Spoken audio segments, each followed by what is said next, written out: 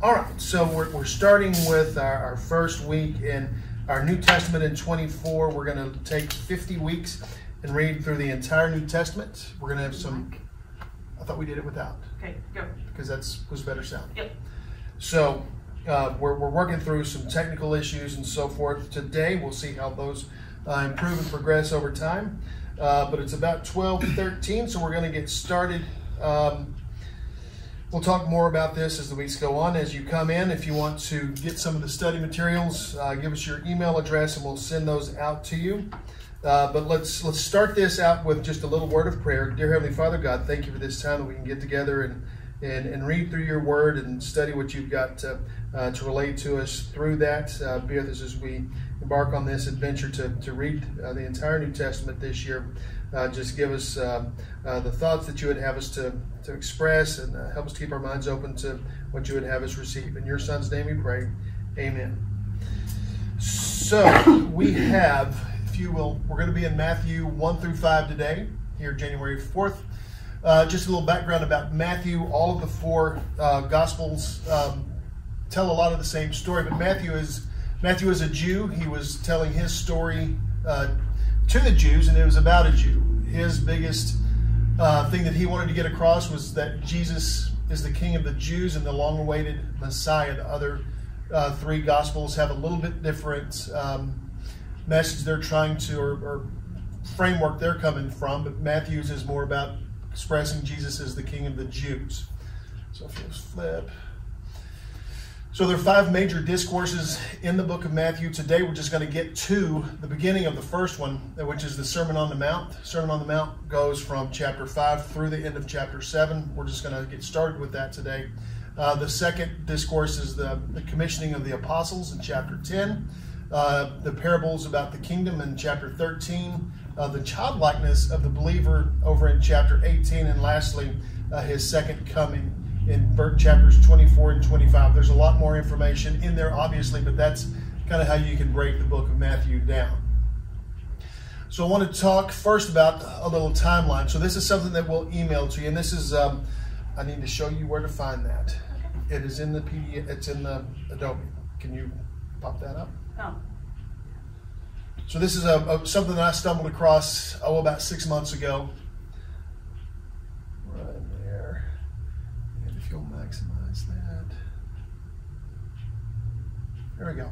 So this basically uh, is a really interesting um, layout of the chronology of the four Gospels, and right now we're just looking at Matthew, but it, it lists the, the actual the things that happened and when they when they appear or if they appear in each of the Gospels. So right now we're going to be going all the way through and looking at Matthew, all the way down through, if you'll scroll down a little bit till we get to the end of chapter 5 in Matthew. I don't know how to scroll without the mouse. Well, it's clicked on something.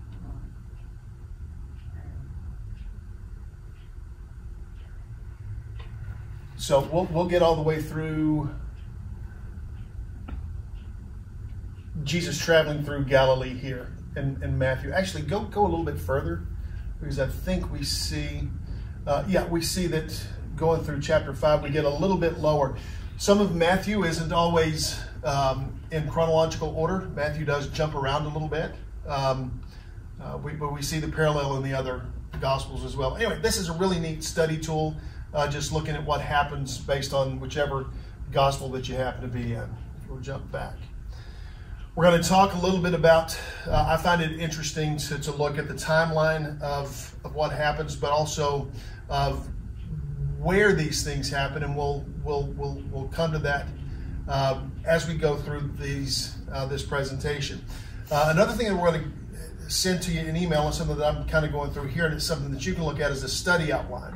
So if you'll go back to, I just want to kind of look at that just briefly. Go back to Uh, no, go to the open uh, browser. I'll tell you which one. Just hover over.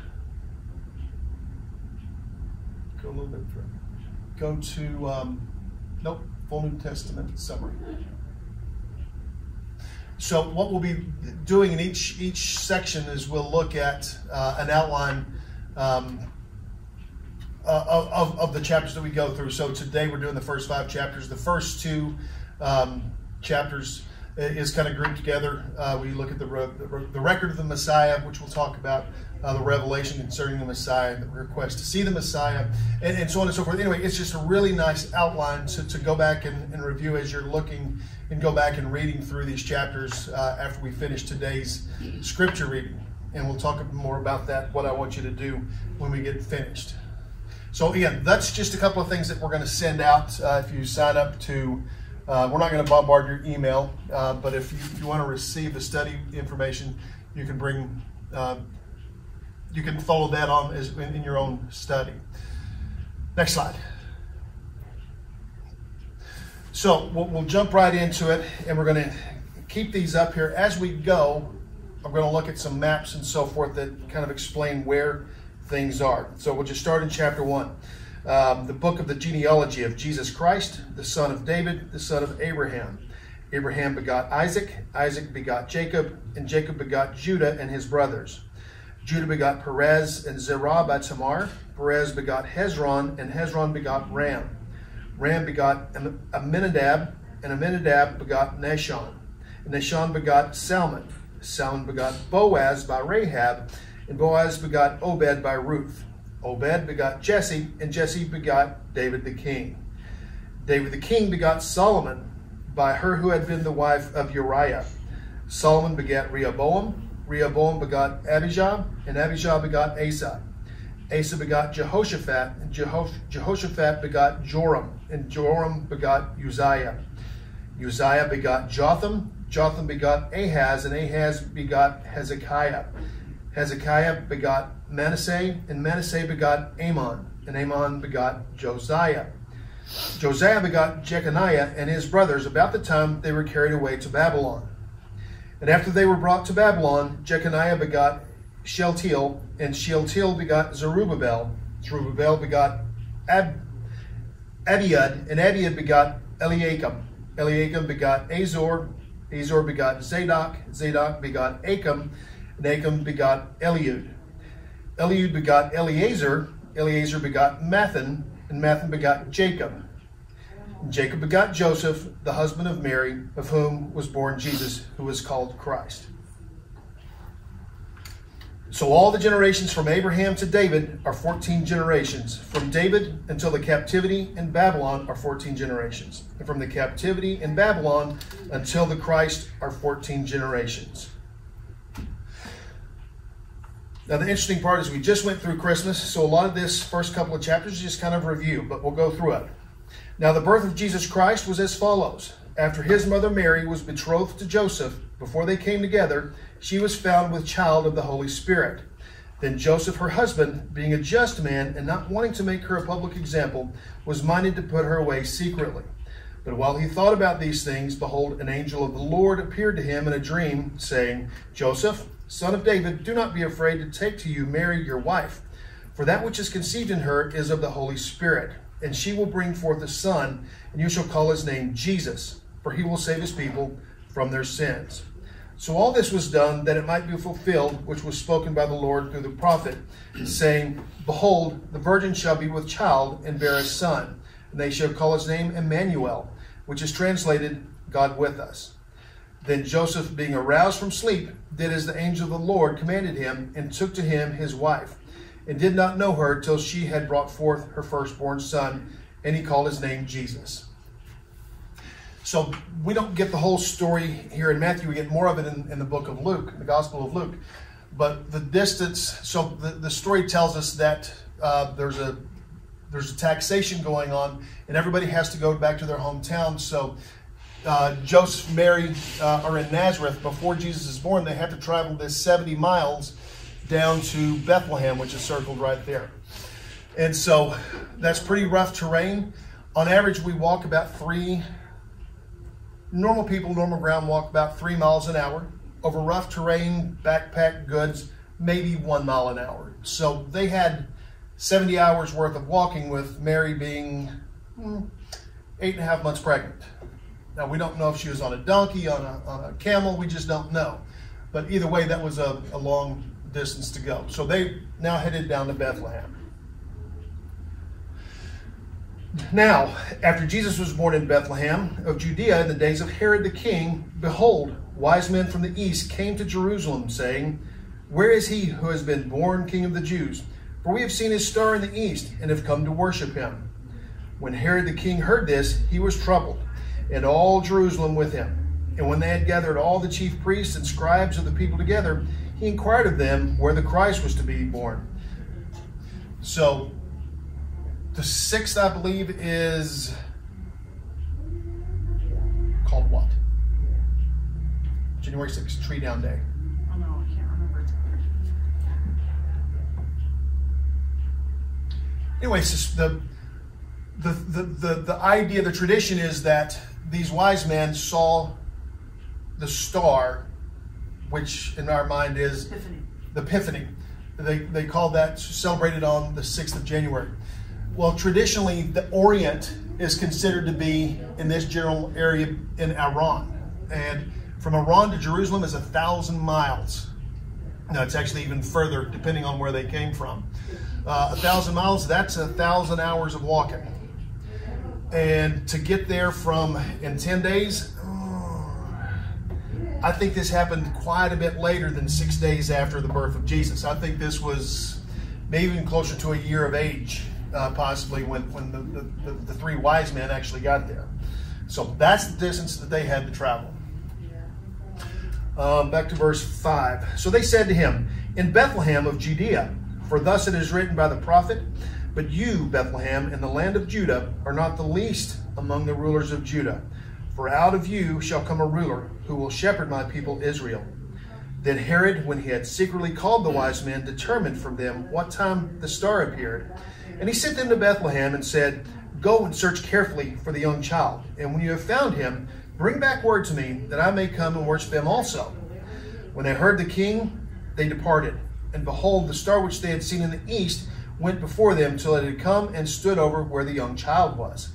When they saw the star, they rejoiced with exceedingly great joy. And when they had come into the house, they saw the young child with Mary, his mother, and fell down and worshipped him.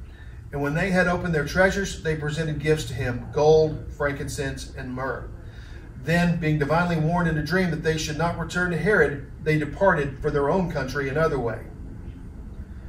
Now, when they had departed, behold, an angel of the Lord appeared to Joseph in a dream, saying, Arise, take the young child and his mother, flee to Egypt, and stay there until I bring you word, for Herod will seek the young child to destroy him.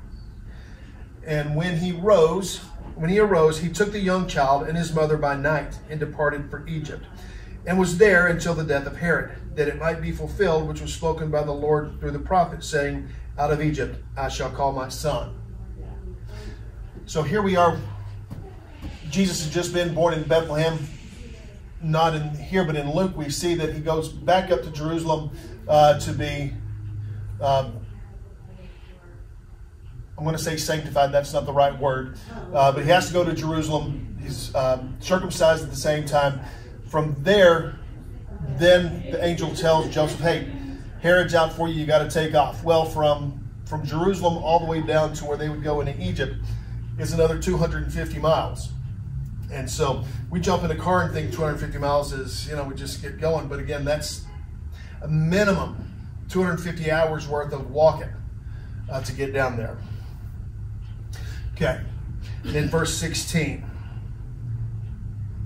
Then Herod, when he saw that he was deceived by the wise men, was exceedingly angry. And he sent forth and put to death all the male children who were in Bethlehem and in all its districts from two years old and under, according to the time uh, which he had determined from the wise men. Then was fulfilled the prophet by Jeremiah the fulfilled what was spoken by Jeremiah the prophet, saying, A voice was heard in Ramah, lamentation, weeping, and great mourning. Rachel weeping for her children, refusing to be comforted because they are no more. Now, when Herod was dead, behold, an angel of the Lord appeared in a dream to Joseph in Egypt, saying, Arise, take the young child and his mother, and go to the land of Israel. For those who sought the young child's life are dead. Then he arose, took the young child and his mother, and came into the land of Israel. Ah, But when he heard that Archelaus was reigning over Judea instead of his father Herod, he was afraid to go there. And being warned by God in a dream, he turned aside into the region of Galilee. And he came and dwelt in a city called Nazareth, that it might be fulfilled which was spoken by the prophets, he shall be called a Nazarene. So here we see it was 250 miles to get to Egypt. Angel tells Joseph, hey, everything is good. Herod is dead. They start the, the, the 285 mile walk back. They could have stopped further down around Bethlehem, but one, Joseph was afraid of uh, Herod's kid and that he might be as the same way as Herod was, which was uh, willing to kill young kids to protect his reign. So he went all the way back up to Nazareth uh, to fulfill the, the prophecy, which was, again, another 285 miles all the way back. And so getting into chapter 3, now we move from Jesus, uh, we introduce John the Baptist. In those days, John the Baptist came preaching in the wilderness of Judea and saying, Repent, for the kingdom of heaven is at hand. For this is he who was spoken of by the prophet Isaiah, saying, The voice of one crying in the wilderness, Prepare the way of the Lord, make his path straight. Now, John himself, clothed in camels. Oh, okay, so here we are. So, right now, John is doing all of his stuff just a little bit north of the Dead Sea or the Salt Sea. Uh, this is actually where Jesus will be baptized. We see this arrow coming out this direction. That's where Jesus is going to spend his 40 days and undergo his temptation before before he departs to go back up uh, to Nazareth in the Galilee. But that's kind of where we are. Um, and some of the uh, gospels you hear it referred to as Bethany beyond Jordan, and that's that's where Jesus, uh, where where John did a lot of his baptizing, and that's where Jesus was baptized. Okay, verse four. Now John himself was clothed in camel's hair, with a leather belt around his waist, and his food was locusts and wild honey. Then Jerusalem, all Judea, and all the region around the Jordan went out to him, and were baptized him by him in the Jordan, confessing their sins. But when he saw many of the Pharisees and Sadducees coming to his baptism, he said to them, Brood of vipers, who warned you to flee from the wrath to come? Therefore, bear fruits worthy of repentance, and do not think to say to yourselves, Well, we have Abraham as our father. For I say to you that God is able to raise up children to Abraham from these stones. And even now, the axe is laid to the root of the trees. Therefore, every tree which does not bear good fruit is cut down and thrown into the fire. I indeed baptize you with water unto repentance, but he who is coming after me is mightier than I, whose sandals I am not worthy to carry. He will baptize you with the Holy Spirit and fire. His winnowing fan is in his hand, and he will thoroughly clean out his threshing floor and gather his wheat into the barn. But he will burn up the chaff with unquenchable fire. Then Jesus came from Galilee to John at the Jordan to be baptized by, uh, by him. And John tried to prevent him, saying, I need to be baptized by you, and you're coming to me? But Jesus answered and said to him, Permit it to be so now, for thus it is fitting for us to fulfill all righteousness. Then he allowed him. When he had been baptized, Jesus came up immediately from the water, and behold, the heavens were opened to him. And he saw the Spirit of God descending like a dove, and alighting upon him. And suddenly a voice came from heaven, saying, This is my beloved Son, in whom I am well pleased. So we go from here to chapter 4, which gives gets us to uh, the, the temptation in the wilderness. In verse 1, then Jesus was led up by the Spirit into the wilderness to be tempted by the devil. And when he had fasted 40 days and 40 nights, afterward he was hungry. Now when the tempter came to him, he said, If you are the Son of God, command that these stones become bread. But he answered and said, It is written, Man shall not live by bread alone, but by every word that proceeds from the mouth of God. Then the devil took him up into the holy city, set him on the pinnacle of the temple, and said to him, If you're the Son of God, throw yourself down, for it is written, He shall give his angels charge over you, and in their hands they shall bear you up, lest you dash your foot against a stone. And Jesus said to him, It is written again, You shall not tempt the Lord your God. Again the devil took him up on an exceedingly high mountain, and showed him all the kingdoms of the world and their glory. And he said to him, All these things I will give you if you will fall down and worship me. Then Jesus said to him, Away with you, Satan, for it is written, You shall worship the Lord your God, and him only shall you serve. Then the devil left him, and behold, the angels came and ministered to him. Now, when Jesus heard that John had been put in prison, he departed to Galilee. And leaving Nazareth, he came and dwelt in Capernaum, which is by the sea, in the region of Zebulun and Naphtali, that it might be fulfilled which is spoken by Isaiah the prophet, saying, The land of Zebulun, the land of Naphtali, by the way of the sea, beyond the Jordan, Galilee of the Gentiles, the people who sat in darkness have seen a great light, and upon those who sat in the region in the shadow of death, light has dawned. So Jesus was baptized way down here, made his way all the way to Nazareth, which sits, well, right around here. Then they have to travel up. Capernaum sits right here. And a lot of stuff happens in Capernaum. Capernaum is one of the areas that Jesus spent most of his time. Um, we'll get to it in a moment. He's going to travel just a little bit higher up here uh, where he gives his Sermon on the Mount. All right, verse 15. 17. 17. From that time, Jesus began to preach and to say, Repent, for the kingdom of heaven is at hand. And Jesus, walking by the Sea of Galilee, saw two brothers, Simon called Peter and Andrew his brother, casting a net into the sea, for they were fishermen. Then he said to them, Follow me, and I will make you fishers of men. They immediately left their nets, and they followed him. Going on from there, he saw two other brothers, James the son of Zebedee, and John his brother, in the boat with Zebedee, their father, mending their nets. He called them, and immediately they left the boat and their father and followed him. And Jesus went about all Galilee, teaching in their synagogues, preaching the gospel of the kingdom, and healing all kinds of sickness and all kinds of disease among the people. Then his fame went throughout all Syria, and they brought to him all sick people who were afflicted with various diseases and torments, and those who were demon possessed, epileptics, paralytics, and he healed them. Great multitudes followed him from Galilee and from Decapolis, Jerusalem, Judea, and beyond the Jordan. Then we get to chapter 5, which starts the Sermon on the Mount. And seeing the multitudes, he went up on a mountain, and when he was seated, his disciples came to him. Then he opened his mouth and taught them, saying, Now, obviously, I've never been there, but apparently, where, where he gave this sermon, you could actually look down onto the Sea of Galilee, and apparently, it's pretty amazing. So the Beatitudes, verse 3 Blessed are the poor in spirit, for theirs is the kingdom of heaven. Blessed are those who mourn, for they shall be comforted. Blessed are the meek, for they shall inherit the earth. Blessed are those who hunger and thirst for righteousness, for they shall be filled. Blessed are the merciful, for they shall obtain mercy. Blessed are the pure in heart, for they shall see God. Blessed are the peacemakers, for they shall be called sons of God. And blessed are those who are persecuted for righteousness' sake, for theirs is the kingdom of heaven. Now, those 1, 2, 3, 4, 5, 6, 7, 8, well, 11 and 12 um, verses constitute about three months worth of teaching that a person could go through right there. We're not going to go through that since we're primarily just reading through the scripture, but there's a lot in there. Maybe we can get back to it sometime. Verse 11. Uh, well, let's go to 10 again. Blessed are those who are persecuted for righteousness' sake, for theirs is the kingdom of heaven. And this is just a continuation. Blessed are you when they revile and persecute you, say all kinds of evil against you falsely for my sake. Rejoice, be exceedingly glad, for great is your reward in heaven, for so they persecuted the prophets who were before you. Verse 13 You are the salt of the earth, but if the salt loses its flavor, how shall it be seasoned? It is then good for nothing but to be thrown out and trampled underfoot by men. You are the light of the world. A city that is set on a hill cannot be hidden.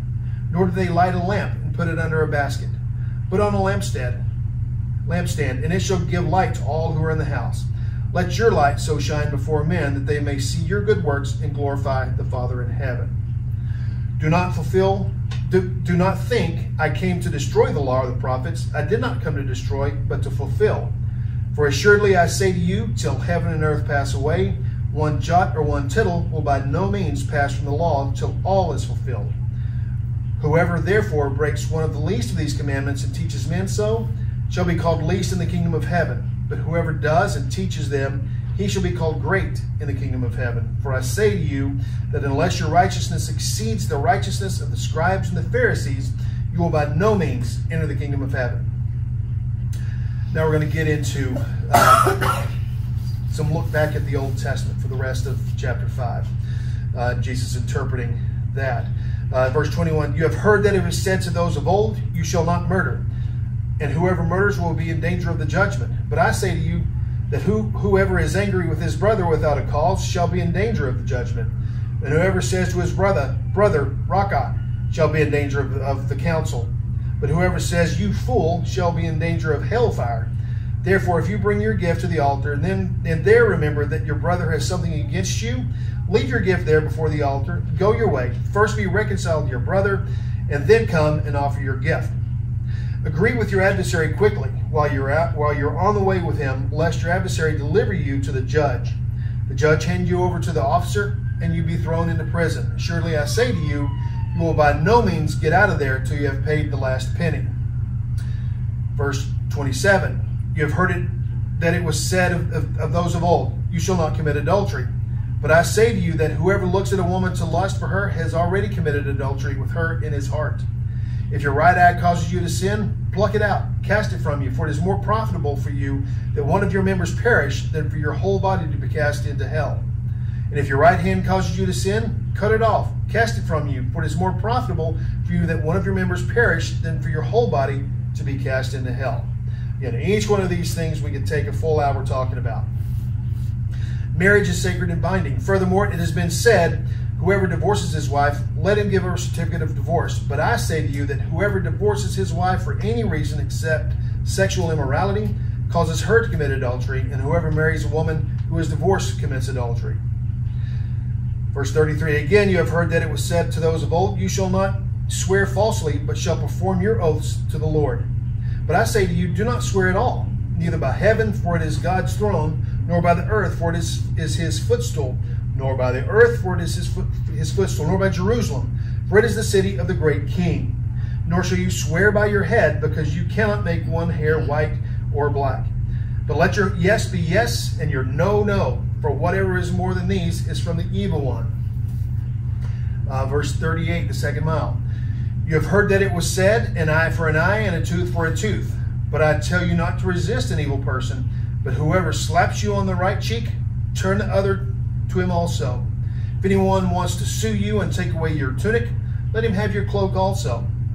And whoever compels you to go one mile, go with him two. Give to him who asks you, and from him who wants to borrow from you, do not turn away. You have heard that it was said, You shall love your neighbor and hate your enemy. But I say unto you, Love your enemies, bless those who curse you, do good to those who hate you, and pray for those who spitefully use you and persecute you, that you may be sons of your Father in heaven. For he makes his sun rise on the evil and on the good, and sends rain on the just and the unjust. For if you love those who love you, what reward have you? Do not even the tax collectors do the same? And if you greet your brethren only, what do you do more than others? Do not even the tax collectors do so? Therefore, you shall be perfect, just as your Father in heaven is perfect. So that's Matthew 1 through 5.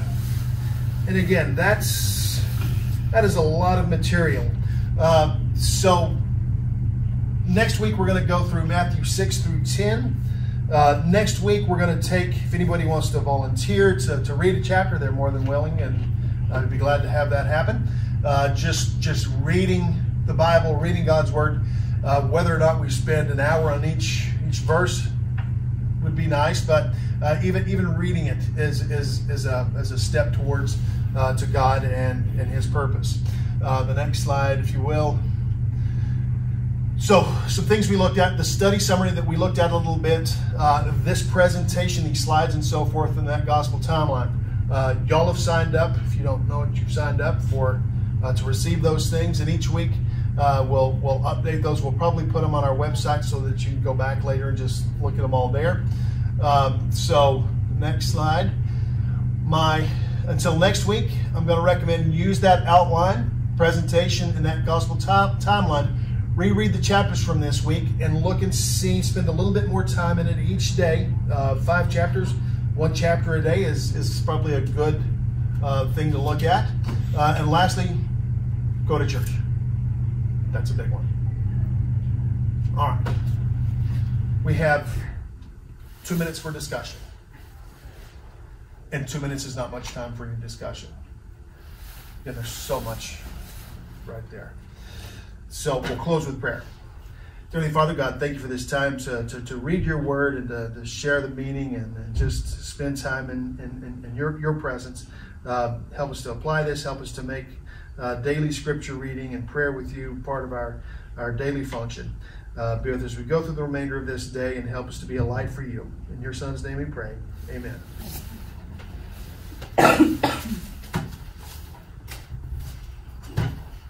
That's it. I don't want to miss.